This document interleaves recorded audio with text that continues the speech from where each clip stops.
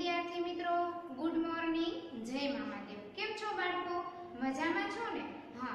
તો બાળકો, તના એજ્યુકેશનલ કેમ્પસ ગોંડલ આપનું હાર્દિક સ્વાગત કરે છે. બાળકો, હિન્દી વિષયમાં આપણે પાઠ 6 સુધી અભ્યાસ કરી લીધો છે અને સ્વાધ્યાય પોથીમાં પણ કમ્પ્લીટ કરી લીધું છે. મને આશા છે બાળકો કે તમે બધા વિદ્યાર્થીઓએ તે વ્યવસ્થિત રીતે અને સુંદર રીતે સ્વાધ્યાય પોથીમાં પણ લખી લીધું હશે. અને તમે સાથે સાથે વાંચતા પણ હશો એવી હું તમારી પાસે આશા રાખું છું. અને બાળકો, નિબંધ બુકમાં પણ આપણે નિબંધ, પત્ર અને વાર્તા લખી લીધા છે. તમે બધાએ લખી લીધા છે ને? હા તો બાળકો આજે આપણે હિન્દીમાં પાઠ નંબર 7 તેનું નામ છે બૂझो તો જાને તમને એવું થશે કે આ પાઠનું નામ આવું કેમ છે પણ બાળકો આ પાઠની અંદર તમને મજા આવે એવા સરસ મજાના ઉખાણાઓ જોડકણા તમે ગુજરાતીમાં ઉખાણા સાંભળો છો ને બાળકો પછી તમને જવાબ દેવાની મજા આવે તો એવી જ રીતના હિન્દીમાં પણ આ પાઠની અંદર તમને મજા આવે એવા સરસ મજાના ઉખાણાઓ છે તો બાળકો આ ઉખાણાઓ છે તે આપણા અભ્યાસમાં શું કામે મૂકવામાં આવે છે તો કે તેના દ્વારા આપણે જવાબ શોધવાનો પ્રયત્ન કરીએ છીએ. તમને જો હું ક્લાસમાં પૂછું કે તમને એક ઉખાણું પૂછું છું, આમાંથી કોણ મને બધા વિદ્યાર્થીઓમાંથી આન્સર આપશે? તો તમે તરત જ વિચારવા માંડો કે મેડમ, શું કહેવા માંગે છે? તમે એકે એક લીટી ઉપર પૂરતે પૂરતું ધ્યાન આપી અને વિચારવાનું શરૂ કરી દો. તો એટલા માટે તમારી વિચાર શક્તિ છે તેને ખીલવવા માટે. વધારવા માટે આપણા અભ્યાસક્રમની અંદર ઉખાણાઓ મૂકવામાં આવે છે ગુજરાતીમાં આપણે ઉખાણા કહીએ છીએ અને હિન્દીમાં તે પાઠનું નામ છે બુજો તો જાને તમને મજા આવે તેવો સરસ મજાનો પાઠ છે બાળકો? તો ચાલો આપણે હવે તેના વિશે અભ્યાસ કરીશું. તો કાઢો તમારી હિન્દી પાઠ્યપુસ્તકની બુક અને તેમાં પેજ નંબર ચુમ્માલીસ. પાઠ સાત. ચાલો બાળકો, આપણે વિગતવાર ચર્ચા કરીએ. સમજવાનો પ્રયત્ન કરજો તમે બધા. તમને તરત જ બાળકો ચિત્ર પરથી ખ્યાલ આવી જશે. બુજો તો જાણી आप सभी जानते हैं कि पहेलियां बच्चों को बहुत पसंद आती है पहेलियां એટલે કે ઉખાણા તો એ બાળકોને ખૂબ જ પસંદ આવે છે यहाँ पहेलियां देकर छात्रों की विचार शक्ति का विकास करने का प्रयत्न किया गया है બાળકો શું કામે અહીંયા મૂકવામાં આવ્યું છે બાળ તો કે તમારી વિચાર શક્તિ છે તેને વધારવા માટે ખીલવવા માટે पहेलियां समस्या या प्रश्न के स्वरूप में होती है उन्हें समझना बुझाना बड़ा अच्छा लगता है ये पहेलियां हमारे विचार करने की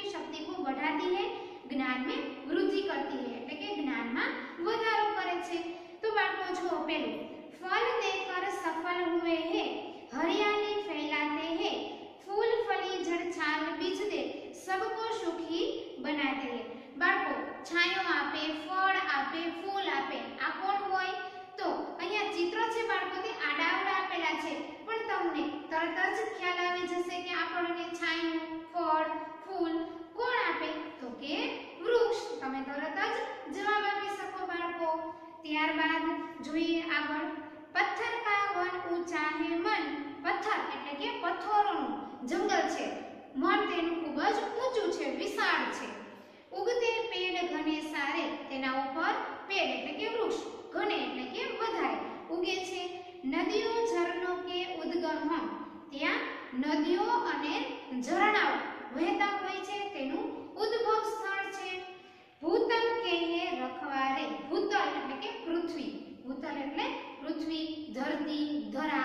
ઘણા બધા સમાનાર્થી શબ્દ થાય બાળકો તેના રખવારે એટલે કે તેનું અમે રક્ષણ કરનારા છીએ. આવું પણ છે. તો કે ઊંચા ઊંચા પથ્થરોનો જંગલ હોય, તેના ઉપર વૃક્ષો ઉગતા હોય, ત્યાંથી નદીઓ અને ઝરણો વહેતા હોય, ઉદ્ભવ સ્થાન હોય, તેમજ ભૂતલ એટલે કે પૃથ્વીના રક્ષણહાર હોય. આવું પણ છે બાળકો? તો કે પર્વત. શું આવશે તેનો જવાબ? પર્વત. ત્યારબાદ સ્વયં પીતી પ્યાસી રહેતી, દેતી જગભર કો પાણી સ્વયં એટલે પોતે. પોતે પાણી પીતી નથી. દેતી જગભર કો જગ એટલે દુનિયા. આખી દુનિયાને તે પાણી આપે છે ખેત સિંચતી નાવ ચલાતી એટલે કે ખેતીની અંદર પણ તેનું પાણી ઉપયોગી છે નાવ એટલે તેમાં હોડીઓ પણ ચાલે છે બહતી હું મેં મન માની બહતી એટલે કે વહેવું વહે છે. તો બાળકો, આવું પણ છે કે આખા જગતને તે પાણી પૂરું પાડે છે, ખેતી માટે ઉપયોગી છે, તેમજ તેમાં નાવ હોડીઓ ચાલે છે, તેમજ પોતાની ઈચ્છા પ્રમાણે તે વહે છે, આવું કોણ છે. તો કે નદી નદી જામે ને પાણી પીવા માટેનું બાળકો. હા, તો અહીંયા જુઓ, તમને ચિત્ર આડા અવળા આપેલા હતા બાળકો, કે પહેલા ચિત્રમાં આપણે વૃક્ષ વિશેનું હતું તો વૃક્ષ અહીંયા આપેલું છે. ત્યારબાદ બીજામાં છે તે પર્વત વિશેનું હતું જોડકનું ઉખાણું. તો પર્વત અહીંયા આપેલો છે, બાળકો તમે જોઈ શકો છો. ત્યારબાદ ત્રીજું હતું તે નદી વિશેનું હતું. તો અહીંયા આપણને નદીનું ચિત્ર પણ આપેલું છે, બાળકો. આટલું સમજાઈ ગયું ને? હા, આ તો સાવ સહેલું છે, બાળકો, અને સાથે તમને મજા આવે તેવું પણ છે. હવે આપણે આગળ જોઈએ. તને મેરા હરા ભરા રસ સે રહતા સદા ભરા. તન એટલે કે શરીર. ભરા ભરા એટલે કે હષ્ટપુષ્ટ. રસ એટલે કે તેની અંદર મીઠો. મજાનો રસ ભરેલો છે. ભીતર સે મેહુ લાલ. ભીતર એટલે અંદર. અંદરથી તેનો રંગ કેવો છે? લાલ. પ્યાસ બુઝા કર પૂછું હાલ. પ્યાસ એટલે કે તરસ. તે છીપાવી અને હાલ પૂછે છે. ખબર? પૂછે છે. તો એવું કોણ છે બાળકો કે જે અંદરથી લાલ હોય? અને રસથી ભરપૂર હોય તો તમે તરત જ કહી શકો બાળકો કે તે તરબૂચ હોય. કોણ હોય બાળકો? તરબૂચ. ત્યારબાદ હમ દોનો હે પક્કે મિત્ર. કરતે રહે કામ વિચિત્ર બે પાકા બેસ્ટ ફ્રેન્ડ છે મિત્ર છે કરતે રહતે કામ વિચિત્ર વિચિત્ર એટલે કે ઘણા બધા અવનવા અમે કામો કરીએ છીએ પાંચ પાંચ સેવક હે સાથ તેની સાથે કામ કરવામાં મદદરૂપ થતા પાંચ પાંચ તેના સેવક છે. લેકિન કરતે કભી ન બાત પણ ક્યારેય અમે વાતો કરતા નથી. તો બાળકો, એવું પણ છે કે બે પાકા મિત્ર છે.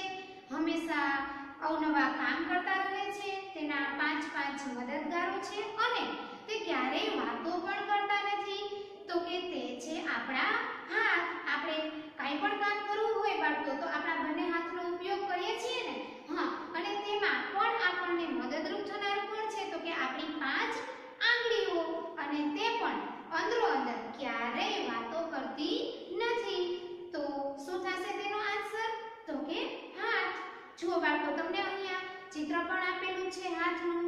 તરબૂચનું પણ આપેલું છે. આપણે બે ઉખાણા જોયા કે પહેલું હતું, તેનો આન્સર આવતો હતો તરબૂચ અને બીજાનો આવે છે હાથ.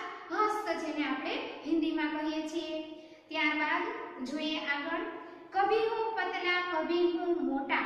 ક્યારેક ક્યારેક હું સાવ પાતળો હોઉં છું, ક્યારેક હું મોટો બની જાઉં છું. કભી ગેંદ જેસા હું, ગેંદ એટલે કે દડો.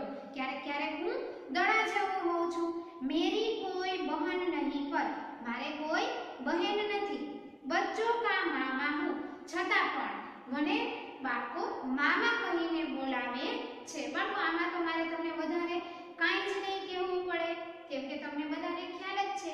તમે ચાંદાને મામા કહીને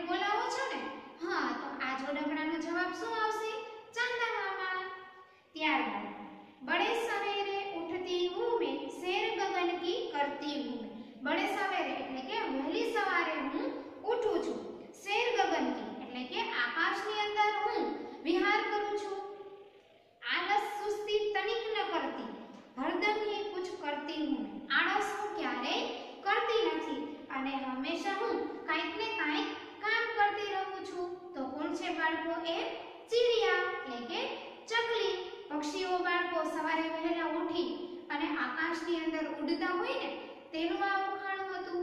તો બાળકો, આ હતો આપણો પાઠ નંબર સાત. બુજો તો જાને એટલે કે જોડકણા. ચિત્ર પરથી આપણે તે જોડકણાનો જવાબ આપવાનો હતો. તો હું આશા રાખું છું બાળકો કે તમને આ વ્યવસ્થિત રીતે સમજાઈ ગયો હશે. તો બાળકો, આજના પીરિયડમાં આપણે અહીંયા સુધી રાખીએ. હવે ફરી મળીશું ત્યારે આપણે પાઠ સાત છે. તે સ્વાધ્યાયપોથીની અંદર પૂરીશું.